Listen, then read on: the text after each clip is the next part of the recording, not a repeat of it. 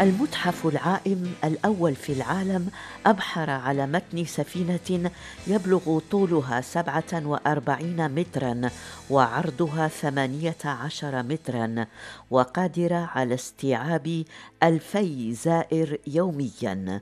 مرفأ الانطلاق مالطا لتصل السفينة إلى البندقية شهر أبريل الجاري قبل أن يفتتح المتحف رسميا في مارسيليا على ما أفادت مؤسسة آرت إكسبلورا المسؤولة عن المشروع.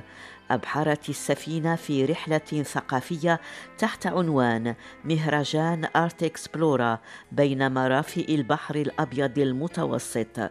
عشرون مدينة في خمس عشرة دولة ستستضيف المتحف العائم حتى العام 2026 وأول دولة اختارها المنظمون للرسو هي المغرب.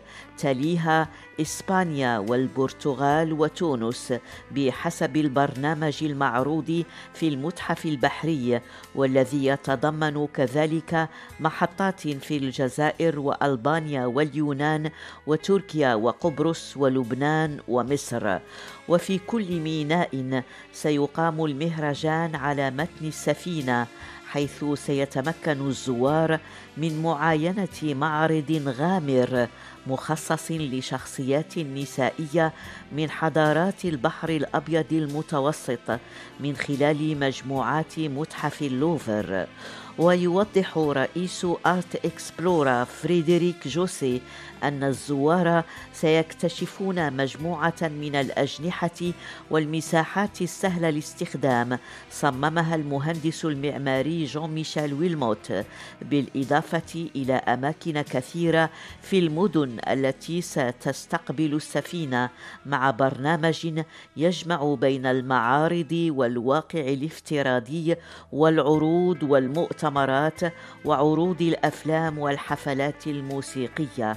ويؤكد صاحب المشروع أن هذه السفينة المتحف الأولى في العالم توفر فرصة للفنانين وأمناء المعارض والمؤسسات والجمعيات والمنظمات غير الحكومية للقاء مختلف الجماهير في مهرجان يرتكز محتواه على التراث والتحديات التي يواجهها كل بلد تتم زيارته.